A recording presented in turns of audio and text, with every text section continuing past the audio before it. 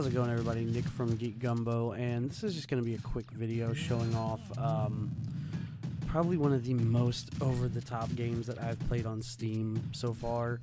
Uh, it's currently in early access. Um, it's called Rogue Stache. It's um, ooh, Batman hat. Ooh, okay. Um, it's called Rogue Stache. It's based. It's a rogue-like shoot 'em up. Um, that um, it's kind of hard to describe. You're basically killing eyeballs because they're taking people's Here mustaches or whatever, and it can turn them into zombies. I do apologize if you hear the clicking of my mouse. Um, Ow. oh. And uh, blah. So you can shoot enemy. It's a shoot 'em up, as you can see, uh, kind of like in the vein of uh, uh, Nuclear Throne. For anybody that's played Nuclear Throne, but it's it's just ridiculously over the top, but so much fun to play. Now I'm not gonna lie, the controls. God damn it. The controls take a minute to get used to because of son of a bitch. The controls do take a minute to get used to. I'm about to die. Hell The controls take a minute to get used to because uh, you can play with either a mouse and keyboard or uh, with a controller, but I would not recommend playing with a controller um, because the reticule is really hard to control with the controller because you control it with the right analog stick when you're playing with the controller. So, um, if you're comfortable with keyboard and mouse controls, I definitely would recommend that. Um, which is what I'm playing right now. Um, Let's and go. It's a very, very simple movements. Um, you use A and D to move, and you use W to jump. You can do a little double jump. Nice. And like I said, it's just a, it's just a really over the top shoot 'em up. Literally looking things. Nope, get away from me. Hell yeah. Uh, you can obviously also you can jump on enemies to kill them as well, but um, Hell yeah. Oh, yeah. Thank you.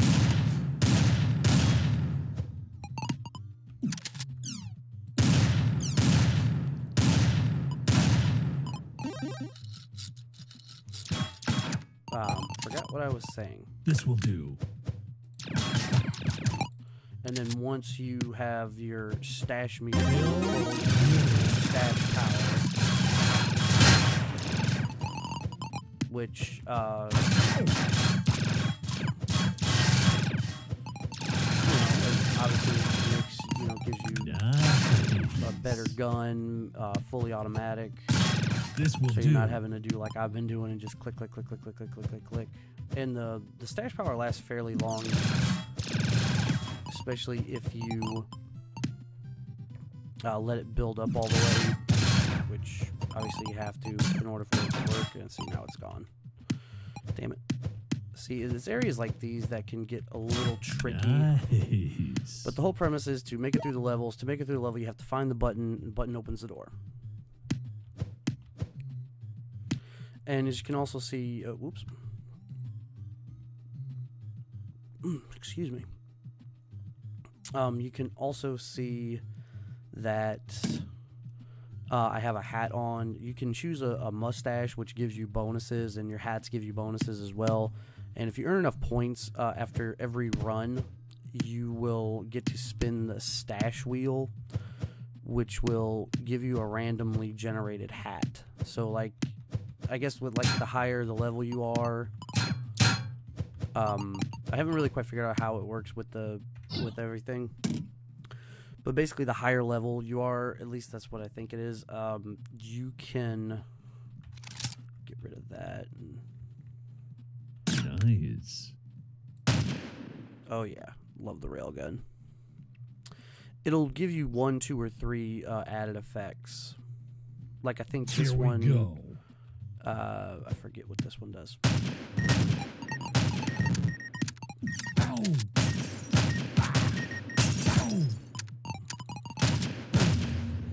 come on. And some of these levels, uh, some of these le- uh, level layouts can get a little uh, hectic. Oh, my junk.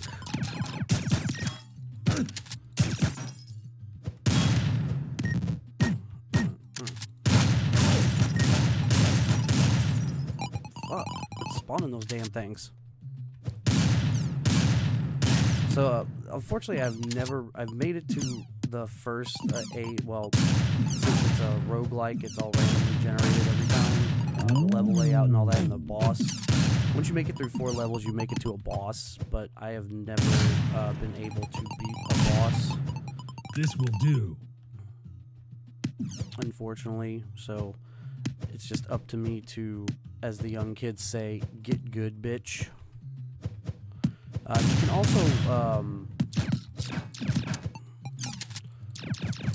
you can also uh, jump along the wall, a la Mega Man style. Hooray! Level up. I don't even know what level we are. I think. Oh, we're level six. Nice.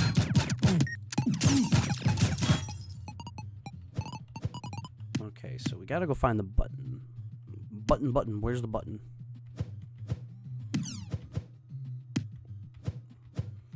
Well, that enemy got the short end of the stick when this level was made. Um, hmm. Where is the, uh... Where is the button? Seriously, where's the button? Like, what did I miss? And I do apologize with how, like, dark... Well, it doesn't look dark on the video, but it's very, very dark on my screen. Okay, seriously, where's the button? And as I mentioned before, uh, this game is in early access, although I haven't really quite run into too many um, issues with the game yet. If you want to, it's uh, I'll put a link in the description to the store page. I will put a link in the description to the store page so you can uh, go ahead and, if you want to, you can buy the game. Um, seriously, where where where the hell is the button? Like, did I miss something, or did the game bug out again? Because I've I've only run into like maybe one bug with this game. Like I was playing earlier, and I got to the end of a level, and um, or I might have already got. Wow, I already gotten the button. Good job, me. Up, see, yep, I did it again. I'm I'm stuck in the door for some reason. Yep, this is like the second time this has happened to me. So, yeah, the game's only about like five bucks, maybe. Um, so just go on to, I'll, like I said, I'll leave a link in the description to the Steam store page uh, where you can buy the game. Now, um, once again, this is in early access, so don't go in expecting a finished product. Although it looks like a finished product, you know, there's still a lot of bugs and glitches. Obviously, this one, this is the prime one that I have. This is the prime one that I have uh, run into. But with that being said, um, I hope you enjoyed the video. And as always, don't forget to like, comment, subscribe, all the fun hibbity bibbity bullshit. And I will see you in the next uh, in the next video. So see y'all later.